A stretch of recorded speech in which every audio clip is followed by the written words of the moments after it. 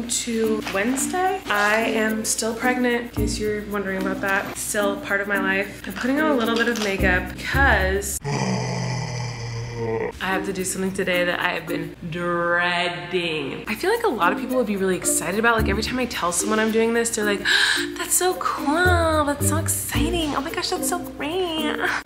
Everyone's like thinks it's a cool thing, but for me it's like a nightmare. I'm meeting with a dietitian today. This is a good thing because this dietitian is going to help me know how to eat responsibly so that I'm keeping my babies as healthy as possible. I'm excited to learn how to keep them safe, obviously. But I've talked about this before many times. Food is like the one thing that's enjoyable for me in pregnancy. So to take that away is like really sad because on days where I'm like really miserable, I don't feel good, I'm really sad or depressed or um, just in a lot of pain, all I want to do is like eat something that makes me feel good in the moment, like In-N-Out or a Big Mac or a really yummy dessert. And that always makes me feel better, as weird or sad as that sounds. Like I said it with my pregnancy with Flynn and I say all the time with this pregnancy is like the one thing that like I have for me to make me feel better on those hard days. I know that sounds ridiculous, but that is my relationship with food during my pregnancy pregnancies. So to take that away from me, it's just a really hard thing to accept. And obviously I'm gonna do it because I wanna keep my babies healthy. Obviously. I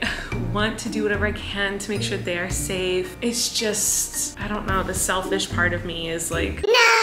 I'm sad. And I also don't like talking to anyone who cares about health and diet and food and obsesses over that kind of stuff because every time I've run into someone who knows a lot about like what a healthy food plan looks like or meal plan, I always feel like really judged for my choices because I'm not that person and I have a really bad relationship with food. I always feel like stupid and judged when I talk to you like that. I, am just like nervous that's how it's gonna be, but I don't know. I'm just like, my anxiety of course is making up worst case scenarios in my head. But yeah, I'm like very stressed about it. I'm gonna finish putting on my makeup. I'll see you guys after the dietitian. Oh, and I got an IV today.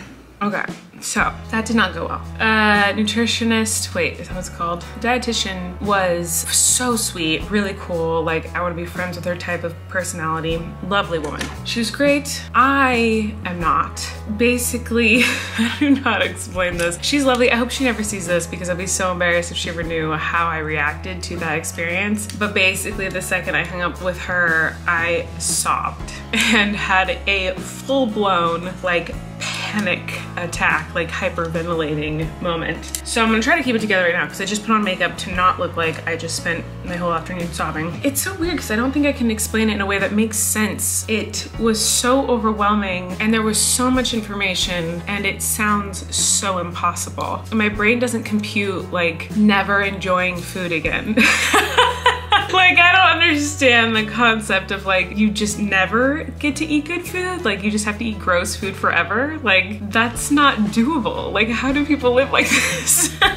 It was just really overwhelming and it's um, you know what I was hoping for was like what's something I can grab on the go really quick and eat it or like have by my bedside. So when I wake up it's just like gonna move on with my life. Because I don't have time or energy or interest in like preparing snacks or a meal. Like it's more like what can I grab really quickly before I run upstairs to edit or film? Or if I have energy I want to play with my kid. I don't want to stand over the stove cooking something. But it seems as though that doesn't really exist because you have you can't just eat like a food, unless I was misunderstanding, but it seems like you have to have a carb, but it has to be high in fiber and has to have this many things of fiber and this, it can't have this in it and it has to have this in it and it has to be served with a big serving of protein. Like you can't just eat a protein or a healthy fat or a carb, you have to have it with something else. Even snacks, you have to like look at all the things on the back and look at all the nutritional values, make sure it's the right thing, and then you have to go and find a protein and like make it to go with it. And it sounds like you can't put anything on it. It's just like dry meat and dry bread. I just won't eat that. Like I'm just like I will if I have to, but like I have no interest in that. So my brain is like hyper fixated on work and my option is to eat that. I'm just gonna skip it. And so then I feel guilty because I'm like, well, no, you have to eat it because you have to take care of these babies. But it's also not proven that I have gestational diabetes. So I'm like, well, if I don't even know if I have it, why would I put myself through this torturous plan of eating not good food, um, in my opinion, if I don't even have gestational diabetes? So I think I wanna try to take that three hour test and just hope and pray that I don't faint, I don't barf, and that I can get through it. Because then if I can find out for sure I definitely have gestational diabetes, then if that happens, then I'll be like, okay, you don't have a choice. You have to eat these things. You have to just get them down your throat and move on with your day. Like you just have to. You don't have a choice. But I can't get my mind in that mindset because there's this like inkling of like, but what if I don't have it? Like then why would I do this? I want to try to do that because this looks miserable. I can't express enough how food is like the one thing I have that I enjoy about pregnancy that there's like you just eat whatever you want and like I have a, this big appetite that I never have when I'm not pregnant and it's like ooh let me eat all the yummy foods and eat all these fun cravings. And um, it's not like my cravings are even that wild. It's not like I just want like bowls of candy. It's like fruit. Like I want to eat a couple peaches and I can't do that. So it's just frustrating. It's like, it's not just like eat healthier, it's like eat gross. I just can't, I can't wrap my head around this concept and I know that makes me really ignorant and like, I sound stupid. I know I sound like immature and stupid. I am aware, you don't have to tell me. It just sounds awful. Yeah, I just, I have no interest in eating a chicken burger patty plain by itself. Like, it's just not something that is appealing to me. I know myself and I know if that's put in front of me, I'll be like, I'm just not gonna eat because I would rather not eat than eat that. But I'm not just taking care of me, I'm taking care of the babies. I don't care about me and my health. I care about them. I'll do what I need to do, but it's just very overwhelming. So um, I hung up with her and sobbed because I just felt so overwhelmed. I was like, I can't, do, I'm not capable of this. Like I don't have the time or energy to like count out the fibers and the carbs and the sugars and the grams and measure them all and time out when I have a snack and when I have lunch and when I have a snack and when I have dinner and then time out an hour after and prick my finger and make sure the numbers are the right numbers and freak out if the numbers are wrong. Like I'm already miserable. so I'm gonna not talk about it anymore because I don't wanna get more upset. And I know I'm a huge baby right now. This just sounds like, to anyone watching this, even me saying it out loud, I'm like, God, you're such a baby, just shut up and do it. I think it's just, sounds overwhelming and confusing and stressful and like a lot of work. It doesn't sound like this is something that I can just have snacks and meals or like grab it and go. It sounds like I have to like, my whole life revolves around what foods I can eat. That sounds like a very miserable life to me. Yeah, didn't enjoy that at all. I hated it actually. That woman was so sweet and I thought she was lovely and she's obviously very good at what she does. But uh, I hope she never sees this because I don't want her to like feel bad because it's not her fault. I know it's me and my brain and my insecurities and my immature relationship with food, but that's that. Now I feel overwhelmed. I don't know what to do because I can't do that. I can't do what she's suggesting, but if that's what I have to do to take care of my babies, I'm like, well, what do I do? Because I don't think I can do that. so I'm not gonna worry about it right now. I'm gonna try to make a grocery list of the things I understood and have Erik get some stuff maybe tomorrow. Yeah, I just feel frustrated, defeated, sad, confused, and like the only thing I enjoy in pregnancy other than the fact that I get to have babies at the end of it, is this one thing of like, oh, I get to eat. I get to think about, ooh, what sounds good? That's what I'm gonna eat today. It's like my one enjoyment and it's just being like ripped away from me. Not just ripped away from me, but like not only are we gonna take away the foods that you like, we're gonna force you to eat foods that make you wanna throw up. it's fun, but we'll figure it out together. You guys always give me great advice and make me feel better when I'm a total hot mess. So I'm sure you guys will give good advice and I'm sure some people will make fun of me. I'm looking forward to advice and encouragement. But I painted my nails, so there's that. Okay, bye. We're taking a bath. Look at my big old tummy. Flynn, what are we looking for? treasures. We're looking for buried treasures in the bath. Huh, Flynn? Yeah. One. It's kind of hard to do. We used a bath bomb, so the water's been. Oh boy. I found another buried treasure. Did we get them all? I don't know. We should feel around, make sure we got them all. We have to look for our baby treasure. And we got our buried treasure. Did you find some? Yes. Panic attacks and buried treasures. That's what this vlog should be called. Did you find more? I think we have find one. I did find one. I'm gonna find one. I'm gonna get it. I'm gonna get it. I'm gonna get it. No, no, I- Aw, you got it. Alrighty, we're gonna keep looking for buried treasure and uh, talk to you guys later about how the rest of our day went. Thank you, I don't know. Two minutes away. Adventure Bay. Adventure Bay. Yeah. Okay. Adventure Bay, baby. Adventure Bay, baby. It is so kind of different. You're the nail on your phone. We're gonna look it on the phone. Let's look. What does it look like, Flynn? It looks like it's kind of different. What kind of bug is it? What color is it? Kind of different. It's a kind of different. It's kind of it's different like that. Oh. Kind of different like that. It is kind of different. That jumping bug? Yeah, that jumping bug is very cool. It's kind of like a different ant. Mm-hmm. It's kind of like a different ant. It's kind of a, like a cricket or something and change it into that. Can I see? Bugs. It's kind of different. It's a kind of that. Oh yeah, kind of like that. Yeah, it's kind of like a different like that. Okay. Come back here. Come back here, Fisher Book. Oh, I got him. You got him? Yeah, he was running Whoa, away. look at those pinchers. He was running away, Yeah, he was running away Wait. too fast. but you caught him? Yeah, but I caught him. He's running away. Get him. Go. What is it? Spittlebug. Show it to mommy. Spittlebug. Wow, it's amazing. Wait, this saw something pitching by me. They were looking at a picture on a booty.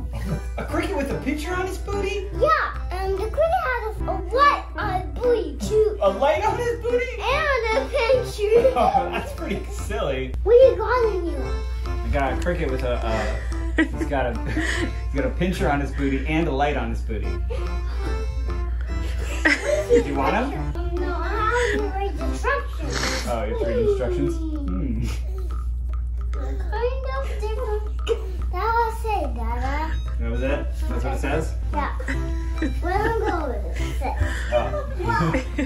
Let's have a tortilla talk. A tiny tortilla talk with Colleen. Let's talk about our troubled times. What a day, what a night. I'm embarrassed to even go into this, but I had a full-blown panic attack tonight and oh man, it sucked. I don't have those often. I don't have anxiety attacks or panic attacks very often. I can count on one hand the amount of times I've had those in my life. This was by far the worst one I have ever had. It was like scary to the point where we were talking about going to the hospital. We didn't know what to do. It lasted for hours. It was not good. Um, so basically what I think happened now that I'm looking back on like today, I woke up sad and overwhelmed. This, this Scorpio in me. I tend to like bottle everything until it overflows. You wouldn't think that with how often I cry and talk about my feelings on here. I have been very overwhelmed with all of the doctor's appointments and all the things I have to do to keep these cute little babies safe and healthy. So between all of my symptoms and how much pain I'm in and all the doctor's appointments every day, like I'm looking at my calendar literally every single day, I have something, some sort of doctor appointment. Between all that and then also the doctors contacting me and emailing me and asking questions and the IV infusions and all these things. And I'm so grateful that I have wonderful doctors and scientists to like help me get through pregnancy. Like it's very grateful for all of it, but it is a lot. I just feel like I was getting to a point where it was like it's constant and it's constantly just people telling me what to do and how to do it with my pregnancy and how to fix this. How these are things you have to do to fix your anemia. These are things you have to do to fix your protein deficiency. These are the things you have to do to fix your vitamin D deficiency. These are the things you have to do to fix your pelvic girdle pain. These are the things you have to do to fix your hip pain. These are the things you have to do to fix your shoulder and back pain. These are the things you have to do to fix your mental health problems. These are the things like it's like the list goes on and on and on and on. And that's just with pregnancy. On top of that, dealing with like my own personal issues, things that I've been struggling with, like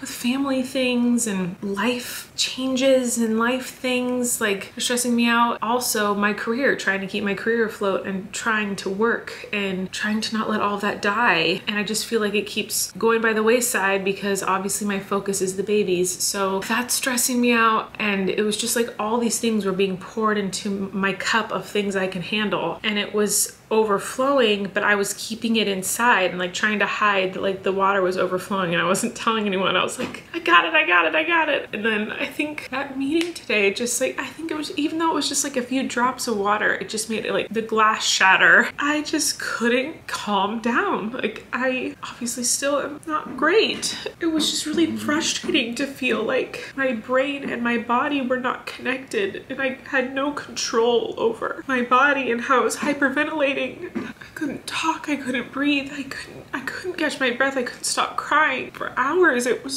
so frustrating and scary. I don't want to get worked up again, so I'm trying to calm myself down. So uh, we called my doctors and told them what was going on and the options were to go to the hospital or try something else. My doctor just walked me through what I needed to do. I had two doctors, my nurse and my doctor both like contacted me and telling me things to do to try to calm down because I could not calm myself down. We were trying meditations, I was trying to distract myself with games and videos and social media and tried playing with Flynn. Tried I tried everything and I just couldn't calm down. I couldn't stop the panic. And I was starting to calm down a little bit after working with my doctors and I just looked at Erik and I said, who is this person? Like this isn't me. I'm stronger than this. Like it's just such a weird experience to feel like I'm living in a body that isn't mine, that does things that I have no control over. So anyway, it was a very rough afternoon. It was scary and frustrating. Anxiety can be a total biznatch. Depression can really creep into your mind and ruin everything. It was just bad. I can't explain it further than that. It was just really bad. I'm sorry so many of my vlogs are like this. It must be annoying and I know it's hard to understand because I know I am so lucky and I have a great life and I'm so grateful for everything. For the fact that I have doctors I can talk to and the fact that they care about me so much. They want to check on me constantly and I have family members who are here for me in a heartbeat and like friends who will reach out and talk to me and help. I'm so grateful for all of that. I'm so happy I have that. I feel very lucky I have that. It doesn't change the fact that it happens. Like I get these panic attacks and they're freaking scary and they suck and it's embarrassing. It's just like, oh. So I don't have any fun footage for you guys today. Sorry. Today was a bust, but I'm gonna just go get in bed and try to sleep because I just want this day to be over. Anyway, that's all. Love you guys and um, thanks for always being so supportive and sweet when I'm a total mess. Tomorrow will be a better day. Tomorrow will be a good day. I got it out of my system. My glass shattered and all the water is everywhere. So now I can start with new glass, an empty glass, and I can fill that one up. I'm stressed about those things. So that's what I'm gonna do. I'll talk to you guys tomorrow. Okay, bye. You can relax. Colleen and Erik have a podcast. The world is scary and we're locked in our home. But now we have big microphones. So you can relax. That's the name of our podcast.